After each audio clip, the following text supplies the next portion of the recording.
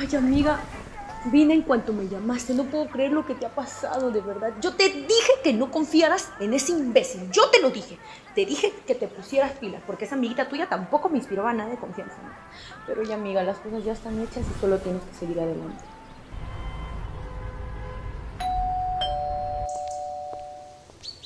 Ay, Organa. Oye, ¿tú qué haces acá? Oye, no puedes entrar. ¡Angélica! contar